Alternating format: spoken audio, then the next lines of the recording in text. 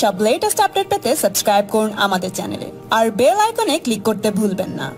পরিবর্তনের পাল্টা পরিবর্তন চেয়ে রায় দিয়েছে বীরভূম। ব্যালট খুলতেই মিলল তার প্রমাণ, যেখানে বিয়াল্লিশটি আসনের মধ্যে একচল্লিশটি জেলা পরিষদে বিনা প্রতিদ্বন্দ্বিতায় জয় পেয়েছে রাজ্যের শাসক দল।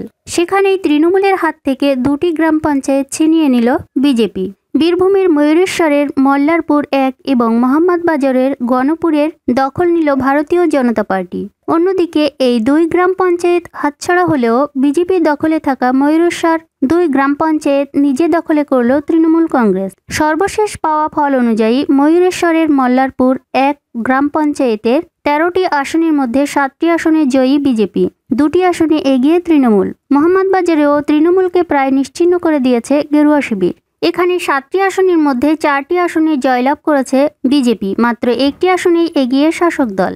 অন্যদিকে ময়ূরেশ্বর দুই গ্রাম পঞ্চায়েতের পদ্মগড়ে ঘাসফুল ফুটিয়েছেন তৃণমূলের কেষ্ট।